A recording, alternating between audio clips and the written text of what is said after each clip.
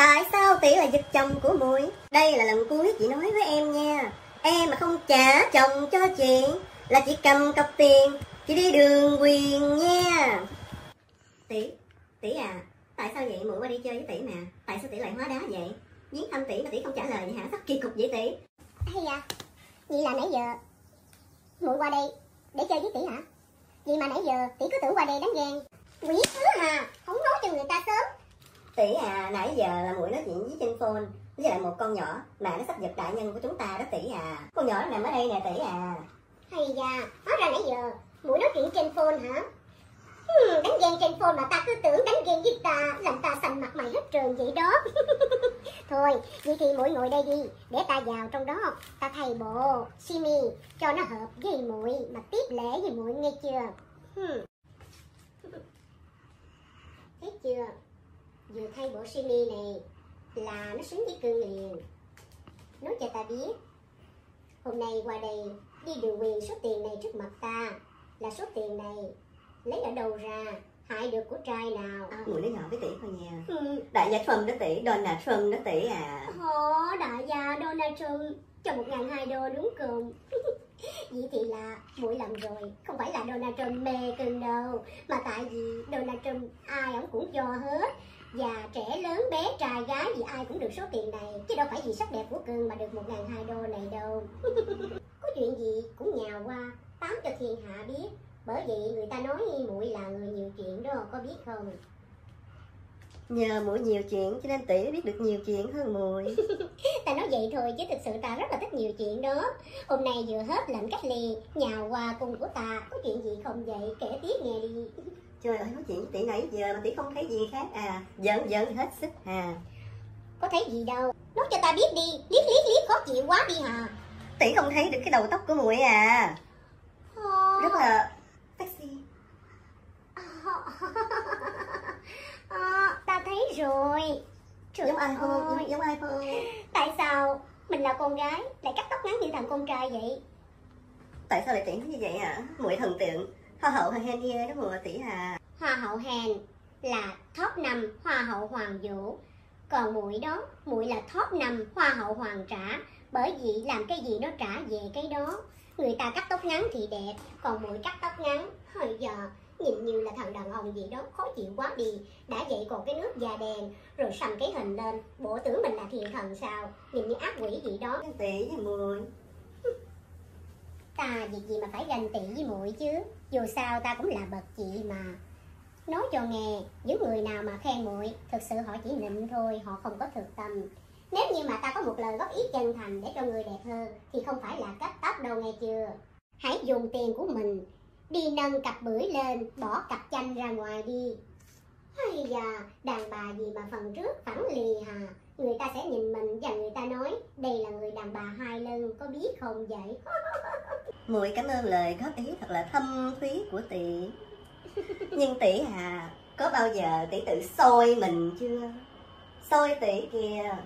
Bao nhiêu vàng dòng không đội lên đầu mà tỷ lại đội nguyên một căn nhà.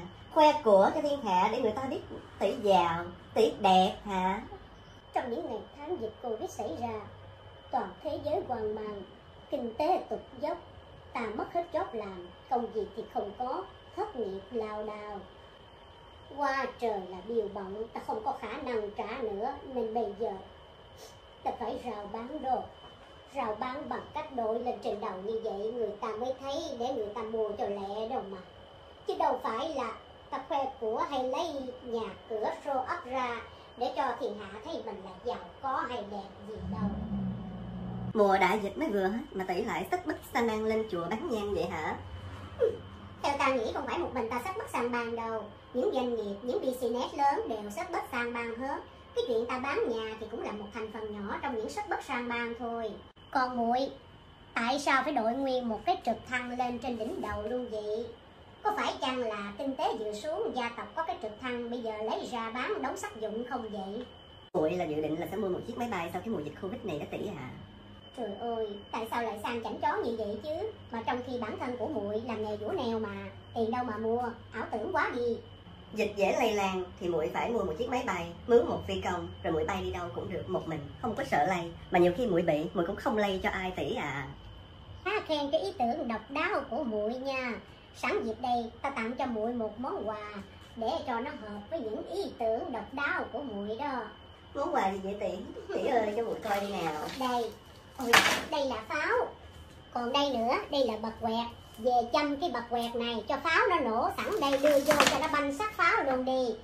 Hay da, thiệt là mộng tưởng quan tưởng quá đi. Bà mà có dũa bằng tám ngàn cái máy dũa nèo cũng chưa mua được cái cánh máy bay nữa chứ đòi đi mua phi cơ riêng. Ước mơ không thành rồi. Ta nghĩ muội nên để cái máy bay nhựa ở trên đầu như vậy, mà cứ hoài bảo với ước mơ của mình đi ha.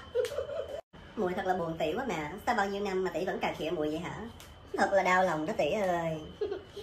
Thực ra, ta cà khịa vậy thôi, chứ tình tỷ muội nó vẫn thâm sâu. Bao nhiêu năm nay, làm sao có chuyện giận hờn nhau được, đúng không?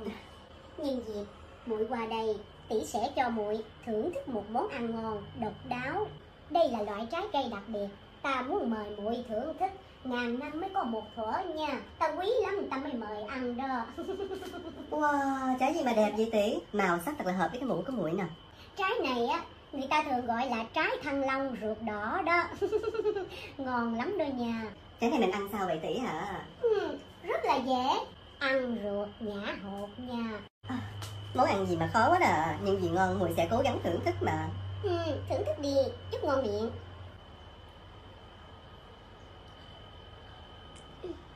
sao có thấy ngon không mà mặt mày thẳng thốt quá vậy? Tỷ à trái này ngon quá đi tỷ ơi. Nhưng mà ăn nhả hột thì muội nhả ở đâu vậy tỷ ừ, chẳng lẽ nhả lên đầu ta? Ta đã sửa soạn nó cho ngươi rồi. Đây đây là một cái chén. Ăn thằng long nhả hột thì cầm cái chén này để mà hột nó vô trong cái chén này biết không?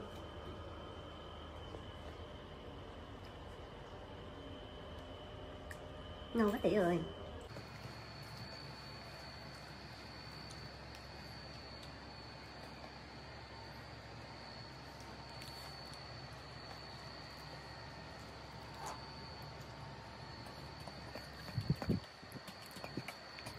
Hồi ba ăn kìa Thực sự là bất thường quá đi. Giống như là bò sát. Ừ, rồi giống như là con chuột vậy đó. Ăn như vậy, chắc tới Tết mới nhả được hết số hột đó quá.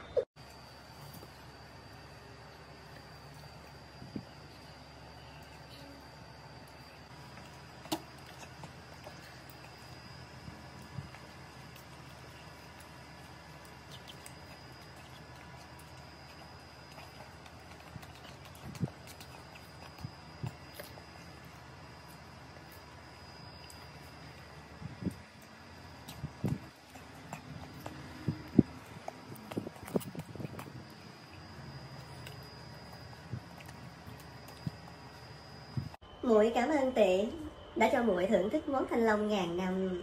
Thật là ngon. Xào hai tiếng đồng hồ muội vật vả ăn. Và nhả hột vừa ăn vừa nhả hột. Thì đây đây muội tặng cho tỷ Bây giờ Chị là ngưỡng mộ mũi quá đi. Sau khi ăn thăng long mà nhả hột được Đây là một kỳ công khó tả đó. Bây giờ với chén hột thăng long này Mũi muốn gì ta sẽ phục vụ? Lấy hết số hột thanh long muội vừa nhả đếm hết cho muội nha chị. Bây giờ Thiệt là khó quá đi. Ca này khó bỏ qua cho ta được không vậy muội cái gì càng khó càng vui tỷ à. Ừ, Chuyện nhỏ như con thỏ có gì đâu. Dễ mà. Hai.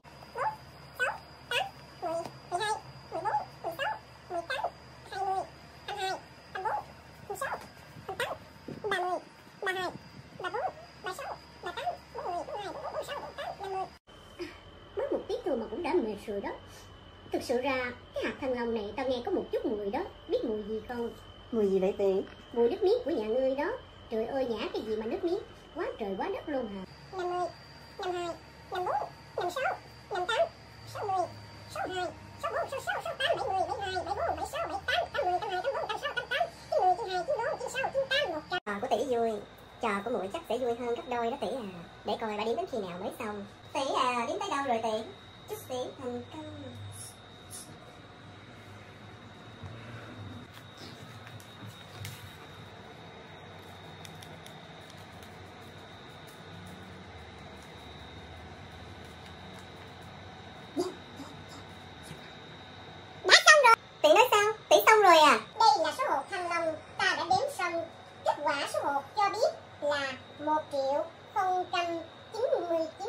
Mũi nhớ lúc nãy vừa ăn vừa phun vừa mũi vừa đếm là một triệu một trăm hộp mà, rồi còn một hộp nữa đâu. còn một hộp, nó dính ở trên mỏ của mũi kìa. Thứ đàn bà hư hỏng, vừa ăn mà còn vừa chui chết trên gương mặt của mình nữa. Nhưng mà trò này vui đúng không tiện? Cảm ơn muội đã bày ra một cái trò chơi thiệt là mắc dạy để cho ta mệt óc đó. Hmm. Kiểu như đang tức á. cái gì cái tức chút xíu nhưng mà mà mà mà mà mà mà, mà. Ừ, tức mà mà sai đặt nói một lần nữa nghe chưa? Trả chồng lại cho chị. Không chị chỉ lấy tiền. Chị đi đường quyền với cưng nó nghe chưa? Ừ, mà mặt là lên hai ba dữ.